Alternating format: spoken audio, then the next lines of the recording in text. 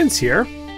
Now that the components are placed, we have added the cross-section information and we have set up the constraint manager, a review of the power and ground requirements is advisable. As part of this process, power and ground nets that require full planes, split planes, islands, or nets which can be routed should be identified. Once these requirements are determined, it is good design practice to add the necessary planes and copper into the design so that the proper predetermined return paths are available for every critical net as they are routed. Cadence products have the ability to add various types of solid copper elements. Entire layers can be specified as plane layers. Remember the cross-section video?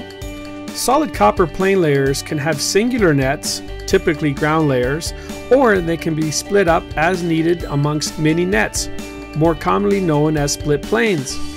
Sectioning plane layers is done using the addition of 2D line elements called anti-etch. The beauty to anti-etch lines is that they can be easily moved if circuits change and the planes need updating. It's that easy.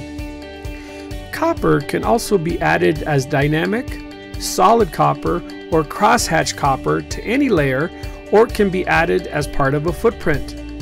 Each of these types of copper can be added into a design using the shape add commands and using the options pane settings to control shape specifics. Editing positive shapes is made very easy with the Shape Edit app mode. Copper shapes can also be rearranged with the lower and raise priority settings which are available as right mouse button selections after a copper shape has been selected. Using the command Shape Manual Void Copper areas that are not required can be removed, and if need be, multiple copper shapes can also be merged. These are just some of the many features Cadence provides the designer when dealing with copper shapes. We make it that easy.